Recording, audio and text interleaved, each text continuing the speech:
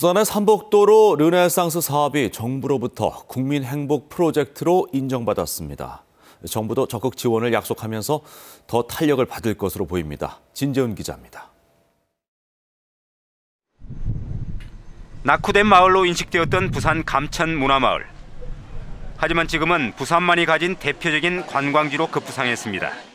우리 시의 도시재생 정책과 타 시도의 좋은 정책들이 전 시도의 공유 확산되는 그런 계기가 될 것으로 기대합니다. 이처럼 부산의 산복도로 곳곳에서 진행 중인 산복도로 르네상스 사업이 정부로부터 주민 행복 사업으로 인정받았습니다. 박근혜 대통령은 부산에서 열린 2013 지역 희망 박람회에 참석해 산복도로 르네상스 사업을 주민 행복 성공 사례로 직접 소개했습니다.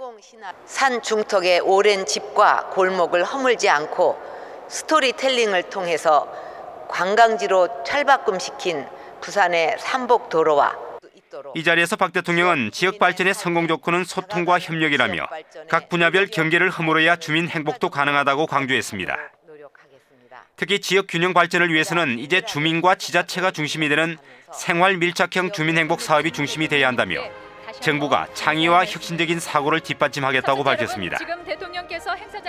정부와 17개 시도가 모두 참여하는 지역 희망 박람회는 오는 30일까지 전시회와 우수 사례 발표회 등으로 이어집니다. KNN 진존입니다.